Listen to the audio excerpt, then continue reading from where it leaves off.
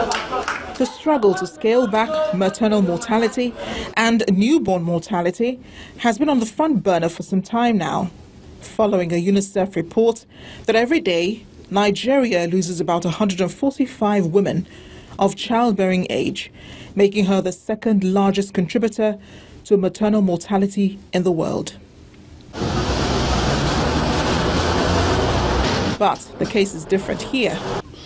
On April 12, 2019, this woman was abandoned by staff of the Primary Health Care Center in Calabar South local government area of Cross River State for not being able to afford 20,000 naira to carry out surgical procedure for her to give birth. So I was in labor and I came here.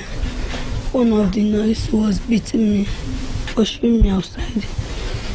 He said that I'm a mad So I begged her. I told her that I don't have anybody to help me. Later helped me. She pushed me outside. So I was crying. I stayed outside the gate.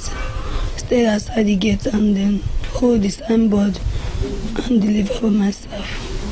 Before people now rush and started beating her, they tell her to come and hold the baby. I was the one and carried my baby up. So one auntie is cooking. The woman is like she knows how to deliver. The woman now run come remove the placenta from me. But the Cross River State government is taking up the issue. The state primary health boss is here to see the victim, promising that erring staff will be punished.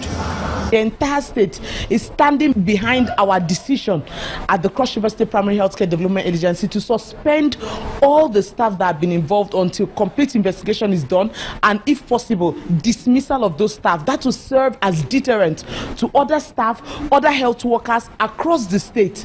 This, no doubt, is one of many untold stories of incidents happening at various healthcare centers across the state and in Nigeria. It is clearly a call on government to pay close attention to activities at its health facilities to avert the increasing number of avoidable deaths as a result of carelessness on the part of staff.